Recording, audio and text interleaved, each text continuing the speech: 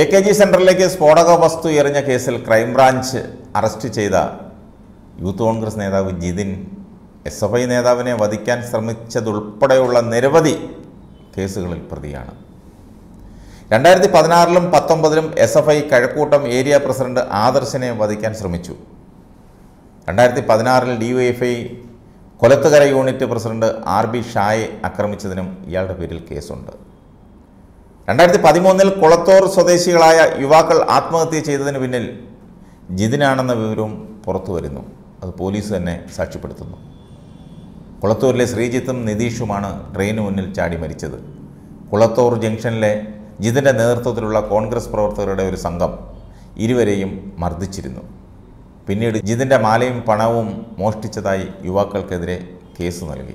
കള്ളക്കേസിലും മർദ്ദനത്തിലും മനനൊന്ത് ഇവർ ട്രെയിനിന് മുന്നിൽ ചാടി ജീവനൊടുക്കുകയായിരുന്നു ഇതാണ് പോലീസ് പറയുന്നത്. രണ്ടായിരത്തി പതിനേഴിൽ കഞ്ചാവ് കേസിൽ ജിതിനെ പിടികൂടിയിരുന്നു. യൂത്ത് കോൺഗ്രസ് ആറ്റിപ്ര മണ്ഡലം പ്രസിഡന്റായ ജിതിന് കോൺഗ്രസിന്റെ ഉന്നത നേതാക്കളുമായി അടുത്ത ബന്ധമുണ്ട്. ജില്ലയിൽ കോൺഗ്രസ് നടത്തുന്ന ക്രിമിനൽ പ്രവർത്തനങ്ങളുടെ മുഖ്യ ആസൂത്രകനും നടത്തിപ്പുകാരനുമാണ് ഇയാളെന്നാണ് ലഭിക്കുന്ന വിവരം. റിയൽ എസ്റ്റേറ്റ് ഇടപാടും ഇയാൾക്കുണ്ട്. അപ്പോൾ തന്നെ മനസ്സിലാക്കാം ഗുണ്ടാപ്പണിയുടെ പിൻബലം. ജിതിന്റെ നിയന്ത്രണത്തിലുള്ള ഒരു ലോഡ്ജ് കേന്ദ്രീകരിച്ചാണ് ആസൂത്രണങ്ങളേറെയും നടത്തുന്നത്. ഷാഫി പറമ്പിൽ എം എ വാഗീദ് രമേശ് ചെന്നിത്തല ഉൾപ്പെടെയുള്ള ഉന്നത നേതാക്കൾ ഈ ലോഡ്ജിലെത്തി ഇയാളെ കണ്ടിട്ടുണ്ടെന്നാണ് പരിസരത്തുള്ളവർ പോലും സാക്ഷ്യപ്പെടുത്തുന്നത്. കുളത്തൂർ എൻ എസ് എസ് ലൈബ്രറിക്ക് സമീപമുള്ള കൃഷ്ണവിലാസം വീട്ടിലാണ് ഇയാളും കുടുംബവും താമസിക്കുന്നത്. അച്ഛൻ വിനയ്കുമാർ കൊലക്കേസിലെ പ്രതിയാണെന്നാണ് പോലീസ് പറയുന്നത്. മോഷണക്കേസിലെ പ്രതിയായിരുന്നു അമ്മ ജിജി എന്നും പോലീസ് പറയുന്നു.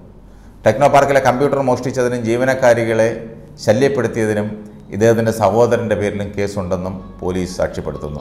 എ കെ ജി സെന്ററിലേക്ക് സ്ഫോടക വസ്തു എറിഞ്ഞതിന് പിന്നാലെ ഗൂഢാലോചനയ്ക്ക് പിന്നിൽ ഉന്നത നേതാക്കളും ഉൾപ്പെട്ടിട്ടുണ്ടെന്നാണ് ലഭിക്കുന്ന വിവരം. ജിതിന്റെ ഉടമസ്ഥതയിൽ കുളത്തൂരിലുള്ളതും മറ്റൊരു യൂത്ത് കോൺഗ്രസ് നേതാവിന്റെ മേനംകുളത്തെ ലോഡ്ജിലുമായിരുന്നു ഗൂഢാലോചന.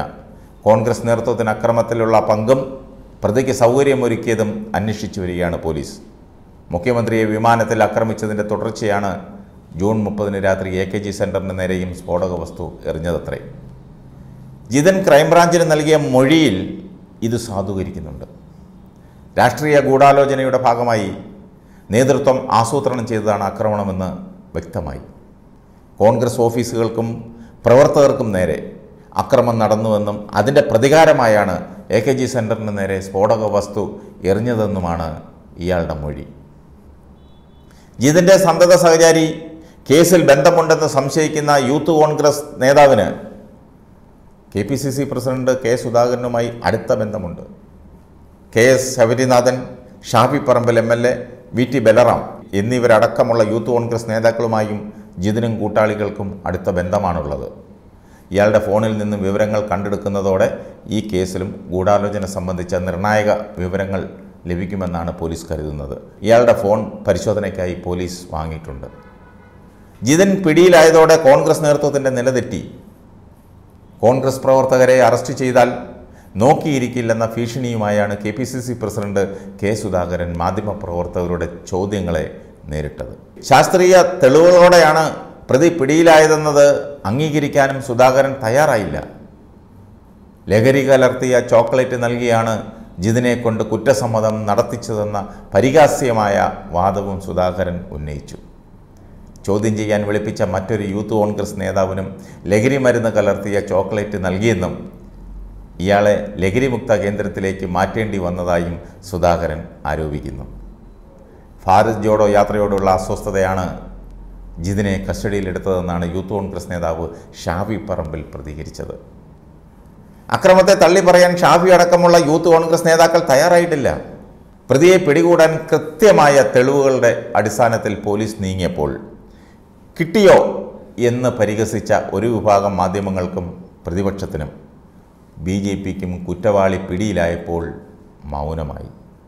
പ്രതി ഇല്ലാത്തതിനാലാണ് പിടികൂടാത്തതെന്ന പരിഹാസമാണ് കോൺഗ്രസ് അനുകൂല കേന്ദ്രങ്ങൾ നടത്തിയത്. സമൂഹ മാധ്യമങ്ങളിലൂടെയും ഒരു വിഭാഗം പത്ര ദൃശ്യ മാധ്യമങ്ങളിലൂടെയും ഇതിന് വലിയ പ്രചാരണം നൽകി. സമൂഹ മാധ്യമങ്ങൾ കിട്ടിയോ എന്ന ടാഗ് ലൈൻ ഉണ്ടാക്കി പ്രചരിപ്പിച്ചു. P C Vishnunath M L A നിയമസഭയിൽ അടിയന്തര പ്രമേയം പോലും അവതരിപ്പിച്ചു. നമ്മൾ ഓർക്കണം. പ്രമേയത്തെ അനുകൂലിച്ച് സംസാരിച്ച പ്രതിപക്ഷവും സംഭവത്തിന്റെ ഉത്തരവാദിത്വം സി പി എമ്മിന് മേൽ കെട്ടിവെക്കാനുള്ള ശ്രമമാണ് നടത്തിയത്.